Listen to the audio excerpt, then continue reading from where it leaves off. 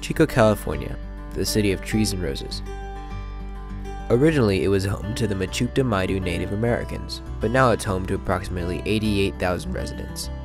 It was founded by John Bidwell and is the birthplace of NFL MVP Aaron Rodgers and actress Amanda Detmer. It houses America's 13th largest municipally owned park.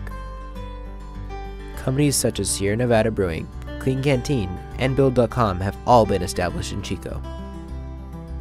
Our college, Chico State, is most well known for its amazing agriculture, business, and fine arts programs. We may not be as big as some other cities, but we sure have had our fair share of influence on the rest of the world.